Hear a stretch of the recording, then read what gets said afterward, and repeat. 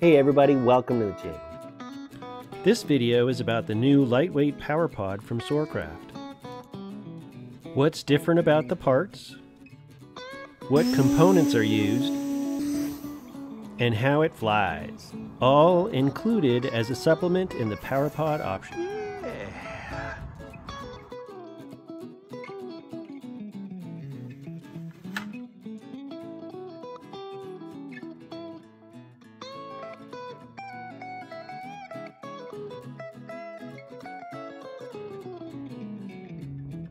Thanks for watching. Please like and subscribe. And check out our website for this model and others, as well as printing configurations for different materials.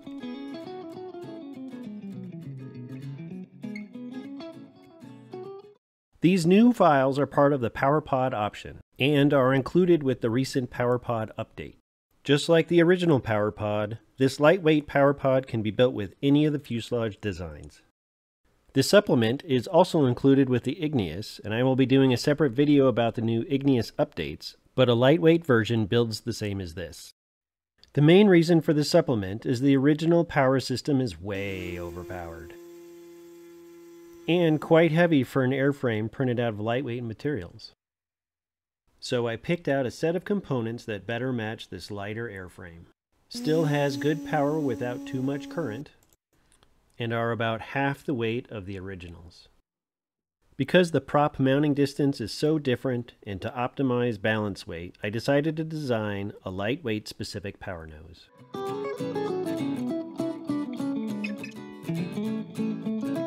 In the PowerPod option, the files are in the supplement file folder. There are instructions and two parts to print. They replace the PP1 and PP2 part from the original PowerPod design. And the most noticeable difference is the length, shorter by 20 millimeters. A PP3 door latch and the PowerPod wing saddle are still needed, along with the rest of the airframe, but they all can be printed from the foaming lightweight materials. In this video, I'm building the RoughGen model with the new 2-servo MH32 wing and the PowerPod. The MH32 2-servo wing is a good mix of lightweight and performance, and I will have a build video for this new wing too. Now for slicing and printing.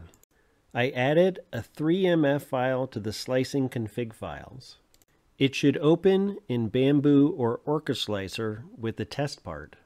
It will also have the filament and process settings for an XC1 or P1S, and you can use this to transfer the settings to the printer of your choice. For foaming materials, I use Nearest for fins and wings and back for fuselage parts. You can load all of the parts into this project and get them ready to print. Oops, forgot to set the seam to back for fuse parts. There, that's better. Slice and print all of the parts, and print them separately for best results with the foaming materials. Once you have all the parts printed, test fit and follow the instructions for assembly.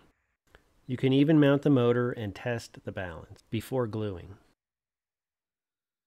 With the fuse finished, tail glued elevator servo and motor installed, can add the rest of the components and the wing for final balancing and programming. It's just about ready to go fly.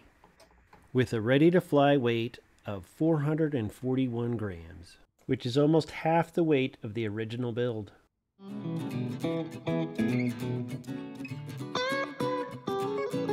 The 2204 1400 kV size motor is a good neck size down from the 2212.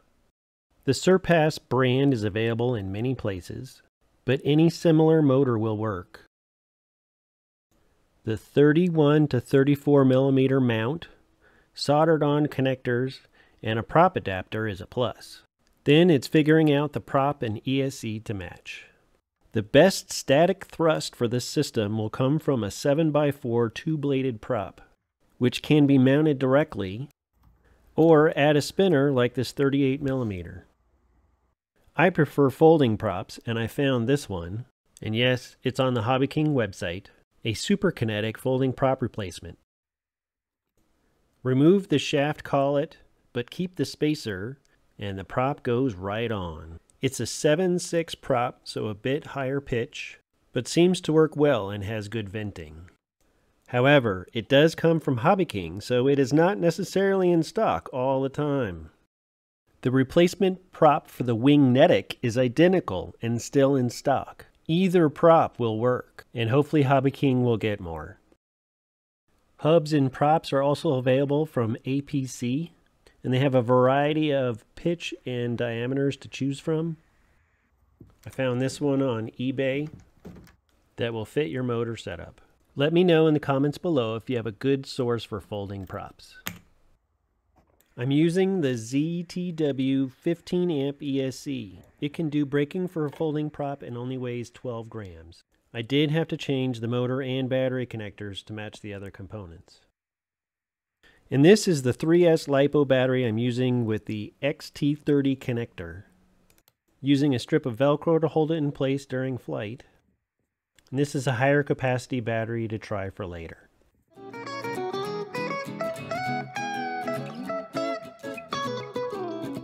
Alright, everything is programmed, charged, and ready to go. Final check of everything.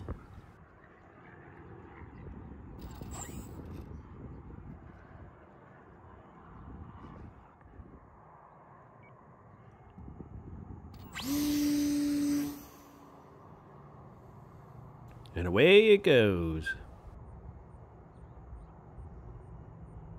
Great climb rate.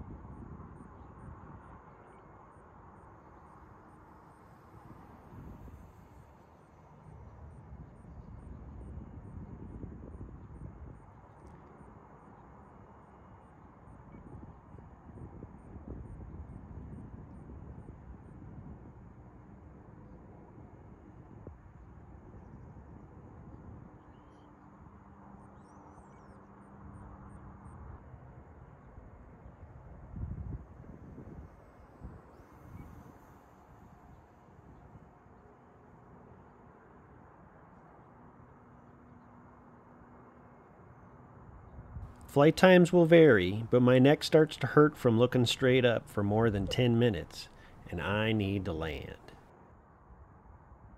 Test landing approach.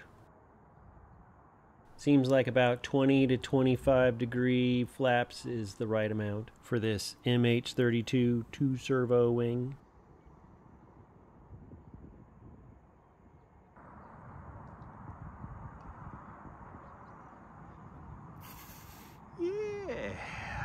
I like how this power pod turned out, and I like how this plane flies. I hope you do too. Thanks for watching, and see you next time.